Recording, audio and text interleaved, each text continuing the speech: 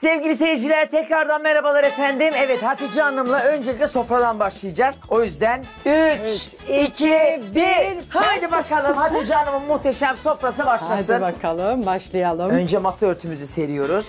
Hatice Hanım mutfak maratonuna masasını kurmakla başlıyor. Bakalım rakipleri Hatice Hanım'dan nasıl bir masa bekliyormuş dinleyelim. Hatice Hanım bence sade bir masa hazırlayacak. Çok şaşalı bir masa beklemiyorum.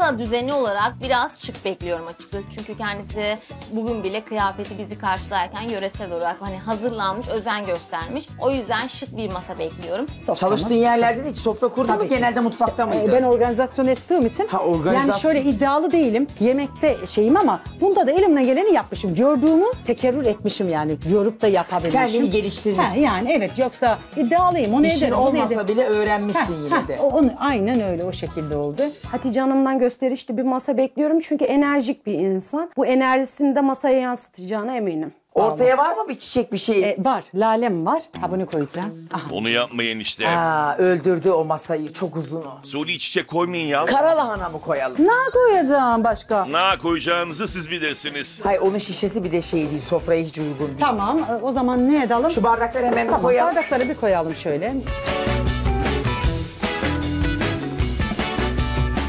Hatice Hanım'ın menüsü bazı yerlerini beğendim, bazı yerlerini beğenmedim. Tabii ki hamarat gerektiren bir program. Hamaratlığını gösterecek gibi geliyor ama tadına, tuzuna bakacağım tabii ki.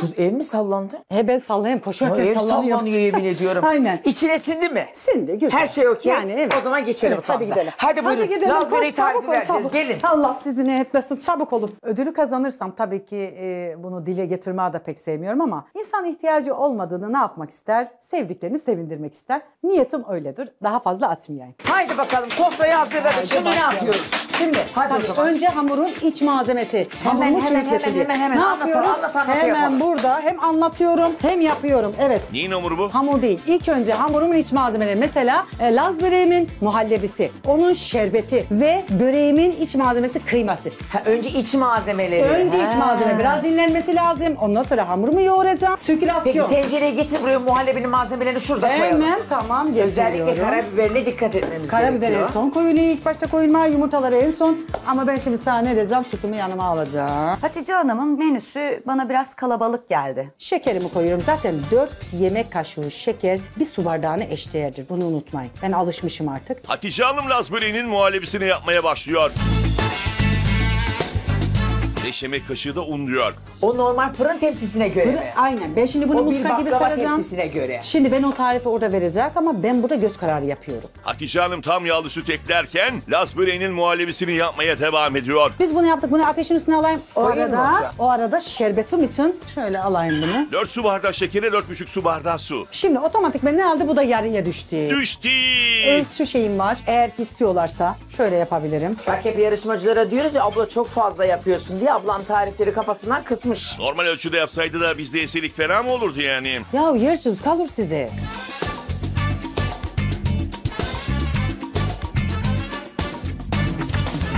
Şimdi Laz böreği tamam. koyduk üstüne. Şimdi ne yapıyoruz? Şerbetimizi de altına Kıyma dedin az Açtık. önce ama önce Kıyma. hamurunu mu yoğursak Hayır. acaba? Kıyma da soğuması lazım. Hamurunu kıyma da yırtmaması soğuması lazım. lazım. Şimdi ne yapıyoruz? Ben soğanımı alıyorum Kadir. Aa soğanı ablam alıyor. Bugün şanslı günündesin Kadir'ciğim soğan doğramaktan yırttın. Hanımefendiciğim soğanı direkt tencereye doğruyor. Şöyle böyle uğraşamam ben bulaşık çıkar. Öyle yok tahta kullanayım yok bilmem ne. Bu, bu bunlar bu- bizi bozar bu işler.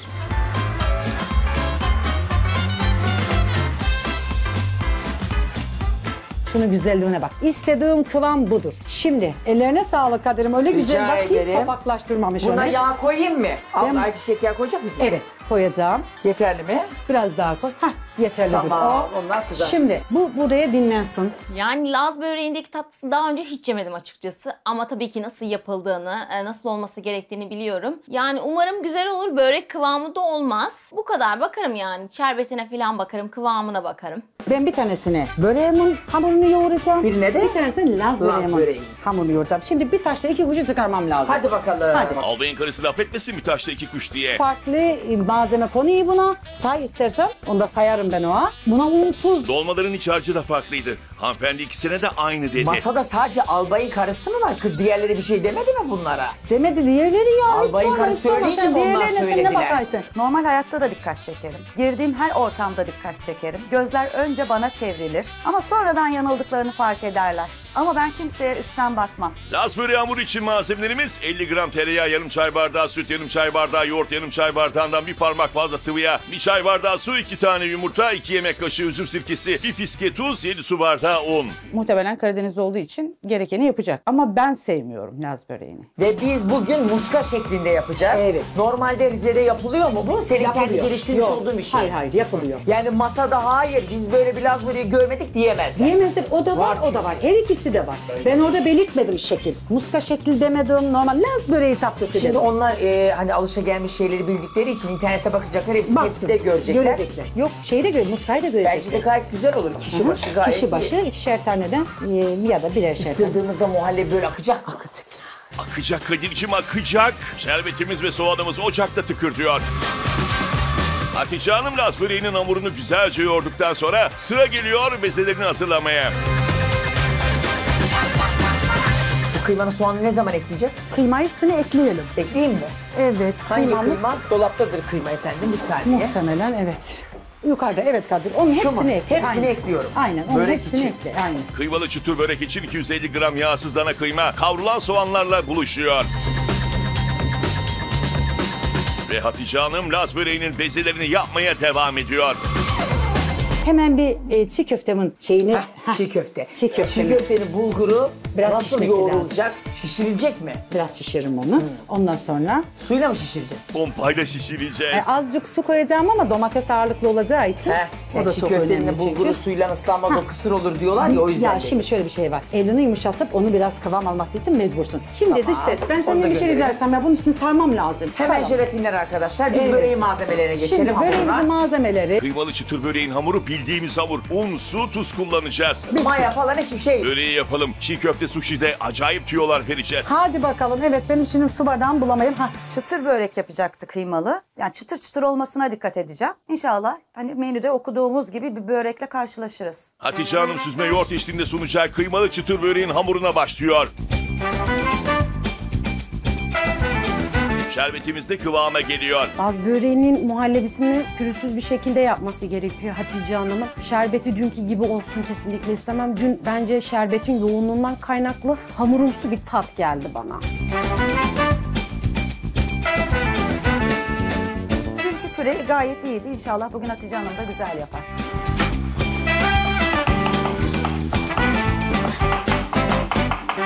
Kıymalı çıtır börek dediği zaman ucu açık oluyor biraz. Hani şeklini falan söylemedi. Nasıl olduğunu bilmiyorum. Kendim açacağım dedi yanlış hatırlamıyorsam. Kendi açarsa kalınlığına bakarım. E, bir de kıyır kıyır olmasına bakarım. İçine koyduğu malzemelere bakarım. Çok yoğun mu, ne et kullandığına bakarım. O şekilde. Kadir Bey ayağa kaldıracak bir şov yaptınız. Baştan bir daha şununla tekrar yapalım. Bu genişse eğer küp jülyen demek şu şekil. Küp jülyen'de de anlayamadım çünkü. Ha, küp jülyen işte ilk önce şu şöyle bir yap alıştırma. Bir törpüledik. Törpüle. Ondan sonra bıçağının ne kadar şeyi bak. Hepsi aynı. Göreyim sen bak. Senin el ayarın. Bakar mısın resmen? Kadın makine olmuş. Masadaki hanımlar da şu anda eminim evde artık program yayınlandı, izliyorlardır.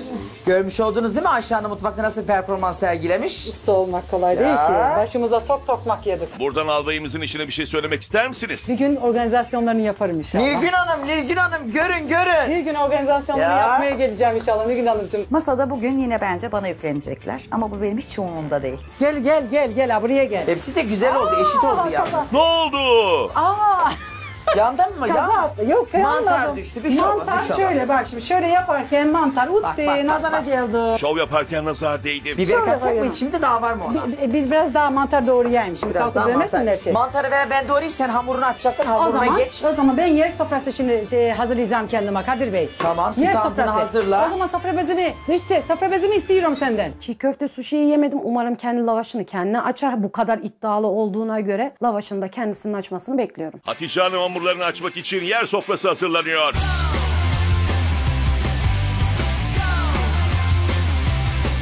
Ve merdane ile kıymalı çıtır böreğinin hamurlarını açmaya başlıyor. Öyle suratım beş karış yemeğe odaklanayım dersem ben o yemekten zevk de almıyorum. O yemeğin de lezzetli olduğunu düşünmüyorum. Hiç un Hiç kullanmıyorsun. un kullanılmaz bunda. Hiç un kullanılmaz. Mantar ekleyeyim mi? Mantar ekle. Onunla beraber Kadir ha bunları da at. Hepsi beraber olsun. Altını açıyorum o zaman biraz Aç, mantarı. Aç aç.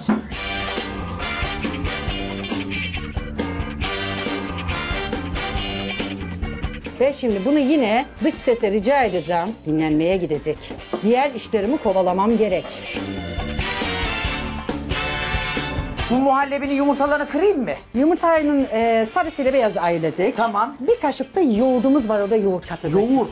Evet muhallebimi şimdi ben şöyle yapayım. Onu sana bırakayım. Karabiber konulacak. Karabiber işini Kadir'e bırakmayın. Ben güveniyorum. Şimdi bak karıştır onu bir. Bayağı katılaşmış. Ha, yumurta bundan bir kaşık ekleyeceksin. Bir kaşık yoğurt. Evet bir kaşık Susuz, şöyle yoğurt. susuz kısmından alıyorum. Evet al. Dört tane de yumurtanın sarısına ihtiyacım var. Dört yumurta sarısı. Tabii tabii. Yumurtamız şuraya dur. Muhallebisi yani o hamurun içine muhallebiyi yakıştıramıyorum.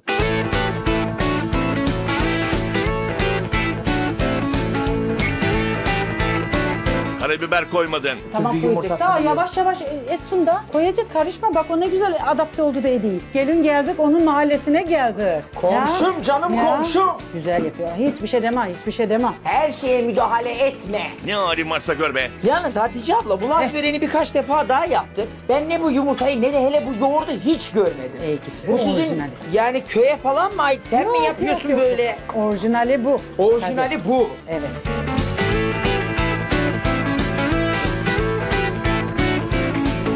Şimdi Kadir bir taşla 4-5 kuş vurdum burada bak. Bak şimdi şöyle. Bir. Ha, gördün mü?